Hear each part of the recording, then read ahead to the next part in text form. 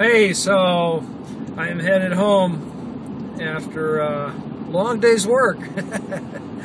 uh, very little Centratel. Well, we're doing some Centratel work actually. I am working more than two hours a week because we're buying other companies right now, and I'm in the middle of the legalities for that. Uh, and uh, going back and forth actually from Scottsdale, Arizona. Uh, got back, I don't know, what, 10 days ago, and I'm headed down again in a week.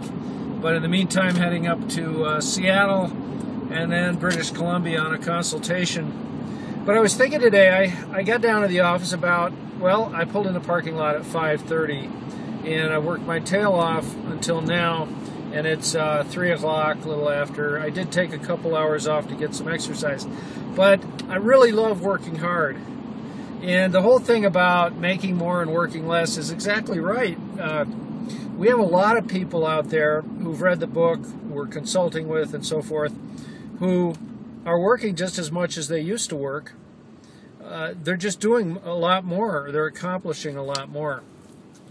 Uh, me, for instance, I have five companies that I run, and I, I never work more than 40 hours a week, even now, maybe if I'm doing an acquisition, I do. But uh,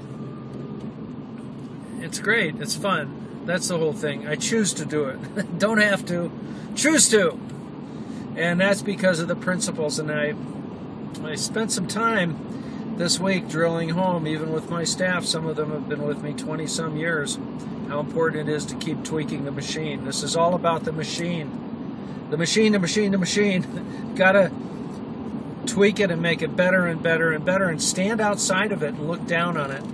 And that's how it works. That's how it works. That's how you get freedom. All right, uh, from Bend, Oregon, I wish you a fine day. Bye.